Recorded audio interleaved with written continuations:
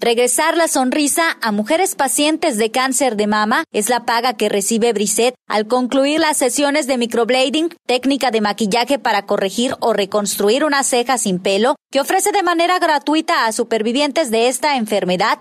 Uno de los efectos secundarios que ocurre a consecuencia de las quimioterapias para atacar el cáncer es la pérdida de cabello y cejas. Esta característica destruye la autoestima de las mujeres, por lo que Brisette Ávila y su hermana desde hace cinco años regalan pigmentación de cejas como forma de gratificar la belleza femenina. Los únicos requisitos que pedimos es pues que su doctor las den pues les den su permiso y tengan en un lapso de unos seis meses cuando ya estén dadas de alta, en el tiempo que todavía no tienen vello.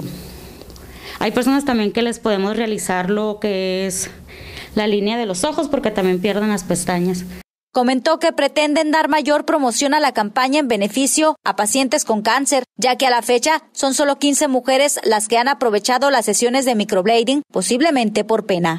Hemos tenido poca aceptación, mm, no sé si porque les da pena o no les gusta o hay unas que de plano no, no, desde, no se sienten bien con, conmigo misma, pero nosotros queremos tratar de, de darles esa, esa, ¿cómo se dice? Ese alivian en su rostro para que se sientan un poco mejor. A Brisette Salón han ido mujeres de entre 25 y 60 años en la lucha contra el cáncer de mama y las interesadas deben cumplir el protocolo de seguridad impuesto por su médico.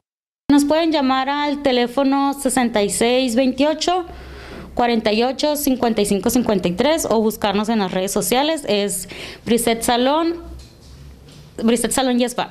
Agregó que la promoción de microblading gratis estará vigente todo el año.